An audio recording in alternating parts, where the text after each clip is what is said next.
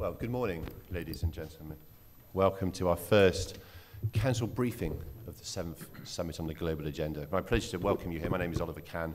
I'm the uh, Director of Media Relations at the World Economic Forum.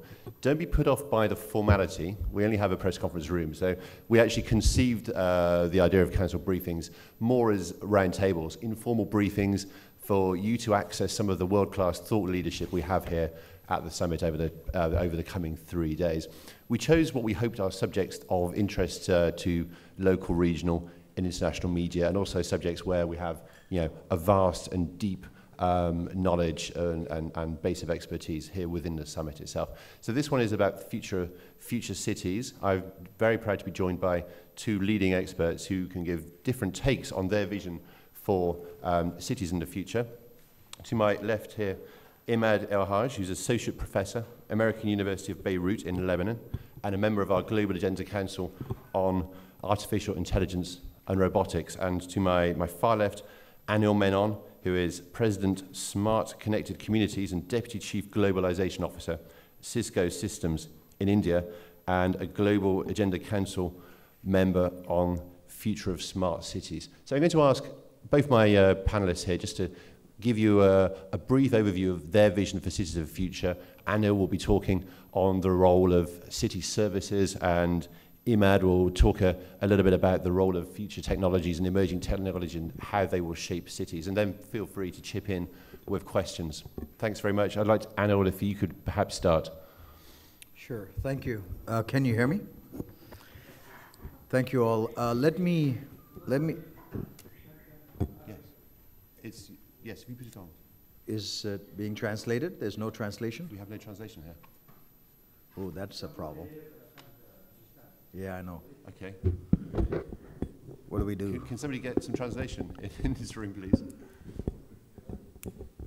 Okay, we're working on it. Um, if you bear with Why us. don't I can translate. Yeah. Back out of it. Okay, thanks. Uh, sorry, thanks for bearing with us. This is our first session of the day. They should arrive shortly. Uh, Anil. Do you want to go first and then I speak? Sure. Yeah. You want to Okay. switch that's the order? Uh, So- can we just have a quick show of hands? How many how many Arabic speakers are we here? Because if okay, so I think we just go ahead in English, and then we'll try to maybe perhaps if if uh, Imad, if you could just summarise a few of Anil's points in Arabic, so I don't want to ruin the flow of the session. Hopefully, our translators will have arrived. Please accept our apologies. Thank you. Um, the entire area of smart cities uh, is becoming a global thing. And the reason for that are essentially three dynamics. One is the macroeconomic demographics. Saudi Arabia, UAE, India, Indonesia are getting larger and younger. European countries are getting smaller and older. So how are they going to be able to continue to give standard of living and manage cities? They have to rethink the entire way cities are built. Second one is with the entire digital technologies that are there, cities will be run differently. So transportation will be different if you have smart connected things. So the whole idea is as we become more and more connected using digital technologies in your smartphones and your electric lights being connected. Let's take this building. You got 75 to 85 protocols in a building that is new and fantastic as this. The lights, the elevators, the electricity, the networks, they don't talk to each other. So you have inefficiency of energy of about 30 to 40 percent.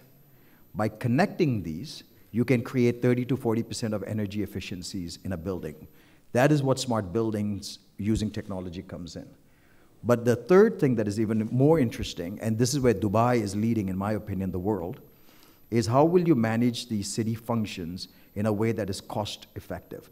Increasingly, cities will look for public private partnerships and they will look for revenue generating approaches and Dubai, which has already got each of its function, has to be profitable and manage it themselves. The business models from Dubai will become now, I think, stolen and studied in other parts of the world.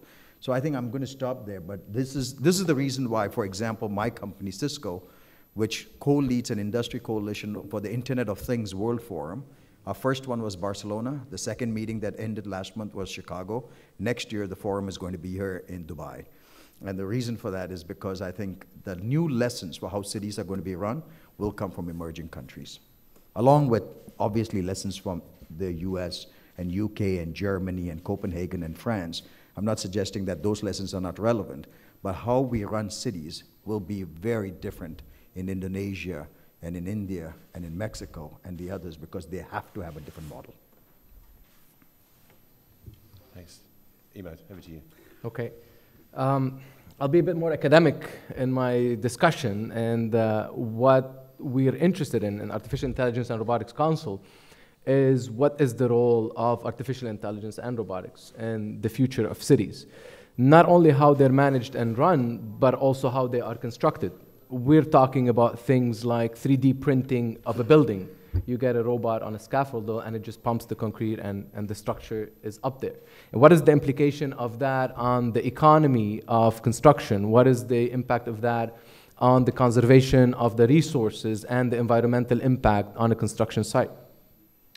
Uh, in addition to this, uh, in the context of the future cities, the question of health management and epidemic control, informing, and containment, how is that will be conducted and what is the role of technology in doing that? Particularly that when we talk about large cities in the future of cities context, this is an exponential problem. If you have a million people, it is much, much more difficult to manage when you have a thousand people. And the question of health implications becomes very critical. And what is the role that technology would play in that? We see that that is a critical role.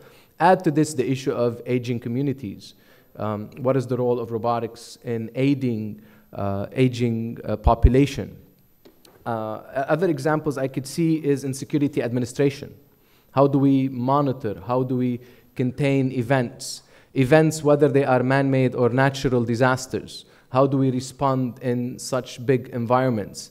Uh, we have little experience, particularly that in many cases, we're not fortunate as in Dubai, things are not being planned ahead of time. The growth that is occurring with time is not planned. These are events and projects that come based on economic planning and not based on regional impact and the impact on the communities that are they're being shaped with these cities. The way we see it, we see the future cities being augmented cities, where you would have your devices or your glasses actually becoming your eye not into the city only, but into information of the city, into the history of the city. And that is a big added uh, feature that we see a big uh, part for technology uh, in it. However, the concern ultimately uh, is not the technology and its role, but how could we maintain the human factor within all this technology? And we already see a departure in uh, social implications that we have. We are more connected, but yet probably socially more disconnected. Thank you. Thanks very much, and a warm welcome to our translators who have just joined us. Just to recap, um, uh, for the benefits of those listening um, through translation, Anil um, was, was, was expanding upon the, um, the role and, and the, the likely primacy of emerging market cities um, in, in driving next generation of future city development. Fascinating subjects, uh, a very wide area. In the true spirit of uh, this briefing, I encourage you all to ask questions. Do we have anyone who uh, wants to ask any questions? I'm going to ask one myself, but no, Francis, your hand was wavering, so I'm going to give the mic over to you. I'd like to ask Anil if he can explain a bit more about what you were saying about the, the business models in Dubai to be studied and how a, a city which is developing um, public services, I mean, how much, how much is the city administration based on public services and infrastructure, and should they be revenue generating? Yeah. So, um, if you don't mind, I'm just going to put a little context to the point that I made. If you think about today, uh, urbanization is probably one of the big global agenda council focus because it's a big serious problem worldwide. And if you look at um, 180000 people are moving from rural areas into cities every day worldwide. That means you're to create a new london or a new san francisco every month for the next 20 years. That's the scale we're talking about. So when you have to create a London or a San Francisco every month, month after month for the next 20 years, you have to do things differently because you don't have the time nor the scale capability of doing it, which is where you have to think globally. That's the first point. Second one is I want to pick up on what the professor said, which is if you think about traffic, you can't come in and say, How do I solve for the traffic problems of Chicago or London the old way? So you ask a different question why is there traffic? And research shows that between the hours of 4 and 7 in London, in New York, in Chicago, Los Angeles, and in Paris, the bulk of the traffic, 50 to 60% of traffic, are people looking for parking spaces. That's what it is. The fact is that adds to carbon footprint. It creates traffic jam. So the point is, if you could sensorize all the parking spaces, put it in an open data platform, and create a new business model around it, where somebody who's in a hurry says, if I get a parking space closest to where I have to go, I'm willing to pay this amount of dollars, you create a new source of revenue for the city. Parking today is number two or number three source of revenue for most large cities after the tax construct. Second example, healthcare, the future of healthcare, which is breaking many countries. But do you realize that for most people, everyone in this room, you don't know whether you're healthier today than you were yesterday? You don't know whether what you ate this morning is making you healthier. The only thing you have is that scale. Yet, for heart attacks, which is a big issue in most emerging countries and many places around this region, the first symptom of a heart attack for 50% of the people, do you know what that is? Death. For 50%, is death. Yet, heart attack is one disease that gives you a signal hours before you're dying.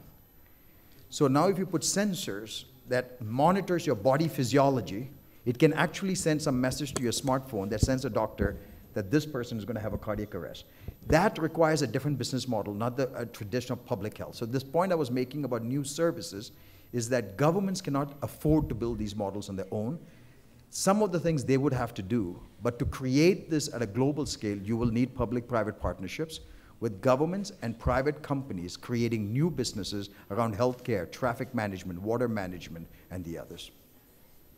Does that, I'm, I'm sorry, it's, it's a much more detail, but hopefully that helps. If I may, I'm going to exercise my right to ask a question too. Apologies, everybody. What's the most exciting or most, uh, the most uh, visionary, viable business model you've seen in your, in, your, in your work in this field? So I know we're at an early, very early stage. Uh, I'm sorry? Well, I, I'm, I know we're at a very early stage. But yeah, and that's, that's why I hesitated for a second. Everybody has been experimenting, and some of us have not quite figured out how to make a Uber work into the current business model of a city, for example, or an Airbnb. The fact of the matter is, we don't know whether the future will look the same, mm. but the fact is, those on the edges mm-hmm. are where all these innovations are coming from. I'll give you a simple example. I mean, that's why I've always been very appreciative of what Dubai has done, because a city state that does not have oil has transformed itself by looking at things differently from a business model and services point of view. So, not everything can be applied in America or Europe from Dubai. But some lessons on parking management, which is being done here, we could apply elsewhere. And so I don't believe there's a single innovation anywhere, whether it's the one in Ankara or in Istanbul, where they have semi created a semi self governing water management company so that the city gets it from a not a private company, it's not a public company. It's a very different structure. In India, with the Delhi Mumbai corridor, where they're creating a self governing body. I think you're seeing a lot of examples, and that is where the council's work becomes important to look for best practice from across the world, meta council to bring best ideas together, because this is what the country and the world needs today, is new business models on how to do it. Very interesting. We've got uh, two people uh, asking questions. So yes, gentleman in the front row first, followed by the lady in the third row. Could you just uh, also uh, mention your name and your affiliation, please? نعم عبد الله بحقاق من سلطنة عمان جريدة الوطن. Do you want to? Uh, oh, it's going to be in Arabic. عبد الله بحقاق من سلطنة عمان جريدة الوطن. أنا في اعتقادي إنه إنه ينبغي أن يأخذ بعين الاعتبار في أي نموذج جديد يطبق في أي دولة من الدول الذهنية المجتمعية مهم جدا هل آه، السؤال الاستراتيجي اللي ينبغي ان يطرح هنا على الأجندة المعنية بهذا الأمر بالمدن التحدي الأكبر في اعتقادي الشخصي اللي بيواجهه العالم هو التحدي المدن. هذا حقيقة. آه، هل آه، المجتمع الذهنية المجتمعية الآن على استعداد أن تساهم أن تقبل الخدمات المدفوعة الثمن؟ الذهنية الخليجية على وجه التحديد تعتمد على الدولة في تقديم الخدمات المجانية بصورة مطلقة إلى حد بعيد. كيف نقدر نستطيع الآن أن نغير ذهنية هؤلاء الناس في المقام الأول لكي يقبلوا هذه الشراكة بين الحكومة والقطاع الخاص ولكي أيضا يدفعوا مقابل الخدمات التي تقدم لهم؟ وشكرا. I think that's, uh, yeah, it's possibly a question for Imad to Allow me start to with. start. It, uh, بلش بقول لك إنه بدبي وعموما دول الخليج يمكن محظوظين إنه المشكلة هي إذا الشعب قابل يدفع أو ما يدفع للخدمات بعتقد المشكلة الأكبر بالدول اللي هي الخدمات مش موجودة والمشكلة هي كيف بده يقدر المجتمع المدني يعوض عن هالنقص اللي الدول ما عم بتغطيه وكثير مهم لنا بس نطلع على التكنولوجي بس نطلع على التطور العلمي اللي عم بيصير. نقدر نطلع عليه بمنظار ايكواليتي مساواة. هل هالتكنولوجي بتزبط بدبي مثل ما بتزبط بغير دول منا محظوظة قد دبي؟ أكيد بدنا نكون واقعيين إنه البزنس امبليكيشنز مهمين كتير. لنا وهل قادرين نعمل مصاري أو ما نعمل مصاري من التكنولوجي بتلعب دور كبير فيها. ولكن إذا ما نحكي بتطور الإنسانية عموما علينا واجب وقتها نحكي عن التكنولوجيا وعن تطور تكنولوجي إنه نطلع ونقدر نعمل هالتكنولوجيا بطريقة يكون فيها عدالة اجتماعية ومساواة وما تكون هذه التكنولوجيا بس للي قادر يدفع أو ما يدفع أو قادر حكومته تعطيها أو ما تعطيها هذا تشالنج لنا من التكنولوجي بالبزنس يمكن عندهم منظار غير بيكون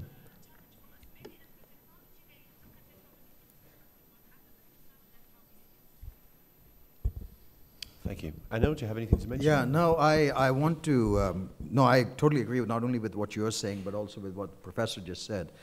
Um, let me take this at two levels. One is, I think at the end of the day, cities and people who are working on smart cities, if they forget this, they will never get there. That is, cities are about the people and it's about the soul of the city. If you lose the soul of the city and the soul of the country, this technology will never ever work. So that's the first, and I always say that smart cities is not about technology. At the end of the day, technology is only an enabler. It has to enable something that is important, which is social sustainability, economic sustainability, and environmental sustainability. You have to think of all three. Having economic sustainability without the social cohesion, and especially on the inclusive growth, is an extraordinarily important one. I'll give you a simple example. In a country where I'm sitting currently, which is where our global headquarters is India, 1.2 billion people, the average age, the 60% of India is age 27. In 30 years, the 60% of India will be the age of 24. It's getting larger and younger. But 600 million children don't have access to healthcare, education, and jobs. This is a dangerous, dangerous situation for any country. Forget about India. So that is an extraordinarily important point. This how do you get access? Now I want to connect the point that the professor made. Tanzania, it's a country of it's a country of 43 million people, highest birth rate and the highest infant mortality for heart disease, for cardiac issues. 150,000 babies die of a heart condition. In the whole country, there's no single pediatric surgeon, no pediatric pulmonologist, no pediatric radiologist. How do you solve for that problem? So, what we have done is created a network of doctors in India with the doctors, primary doctors in Tanzania, connected on the network and doing everything remotely and helping the local doctors. So sometimes you can't solve for within a country, so you have to look at inter-country, inter-city collaboration using the digital network for taking services into remote areas, into poorer sections of a city, into poorer parts of the country, along with all the other things that you have to do to make it affordable. You have to make healthcare, education, and jobs affordable, and that is part of being smart. It's not about technology and it's not about sensors. Thank you. Uh, the lady in the third row there. Thank you. Again, just tell us where you're from, please. Hi, good morning. I can uh, say in English. Um, uh, I'm from Saudi Arabia. We have different uh, and very special situation. We have Mecca and Medina. Uh, we um, we welcome uh, Hajj, Hajjis one time in a year. And this caused a very specific uh, situation for the two uh, cities. Uh, especially, uh, we have um, a, a great ex, um, ex, um, extension for the two holy mosques, and this caused the, uh, the country to um, to take off lots of buildings in uh, uh, in the two cities, and this uh, also يعني lead to uh, many people left their uh, their houses, and also lead to the the high price of uh, of houses in other uh, in other uh, ways or other uh, مناطق other regions. So uh, how we can uh, move to uh, the concept of the smart city for the two cities for Saudi Arabia? Uh, a- a- again, I think uh, Saudi Arabia has uh, is in a very special position, and as you mentioned, the Hajj brings a very interesting twist into dynamics of the future of the city. Talking about transportation and parking and, and moving and controlling and security and, and crowd management and so on. And we know already that a lot of technology is being applied there. And in the future cities, when we see this growth that was mentioned, and what I referred before, the issue of the numbers and the complexity that the numbers bring. I also give you another example is that now when we have any conflict in the region and we have a refugee situation, we're not talking about tens of thousands anymore. We're talking the order of millions. I could tell you about Lebanon. Lebanon is 4 million population. In one year, we are hosting now 1.6 million refugees over the duration of one year. This is equivalent to what? 200 quarter of a billion moving into China in the duration of one year. So, what do we do when we have a big influx or excess of population from regions? How is that managed? What's the impact on the local population? Whether the increase in the, in the real estate or resource consumption or environmental impact or impact on the heritage site itself. What is the degradation of the site itself because you have millions of people coming in and out of that site? All of this, if we do not deploy technology, first to document and then to actually uh, improve the services and manage the services better, we will not be able to sustain this. Neither the heritage conservation, is what I call, neither the environmental nor the social. And this is detrimental implication, and this will have uh, a cascading effect, whether in a refugee context or in the context of the special context of Saudi Arabia. This will have a cascading effect, and this negative impact will flow down the line to other regions in the country if it is not managed properly or if it's not contained properly through technology and, and other means. Thanks, Imad. Okay, we've got a few minutes left, so one more question and then we'll have to close. Yeah, Mr. Menon, you spoke about the uh, the project that you're handling in Tanzania. Sorry, could you give us your name and your affiliation, yeah, sorry, please, so we know from Gulf News. Uh, you spoke about the project of connecting doctors from India and Tanzania. Uh, wouldn't it, as in, wouldn't it be a challenge for you to probably, uh, um, um, probably to generate revenues out of this business model? And uh, secondly, uh, wouldn't wouldn't be you trading a fine line between the CSR project and as far as a business, uh, as far as the business goes? Uh, This is um, an important point. In our experience, um, too often, too many of these things have been taken off on a CSR and on a pilot basis without thinking about scaling. And when you don't think in terms of scaling, you have a lot of pilots, and they don't go anywhere. And if you don't start with a business model on how you're going to scale it, the ecosystem, most of these are just science projects in many ways. So that's the first point, and that's one of the things we've, that's, we are very focused on that. To give the example, and I'll be more than happy to provide you with more details on this project in Tanzania. Uh, and again, you know, it did start out with the CSR, don't misunderstand it. Just like the E-Pesa, E-Pesa money, Pesa, right? E-Pesa. In uh, yeah. uh, Yeah. the Vodafone project started as CSR, but now more than 50% of, of in Kenya and, and, and the regions is done on mobile banking. It starts as CSR, but somebody figured out a way to make it work and profitable. This is a Yale professor who returned back to India and said, I want to do something different, and created a digital platform to do it. She now has a company that is already, and I won't mention it publicly what his valuation are, but trust me, she is going to be an extraordinary wealthy person.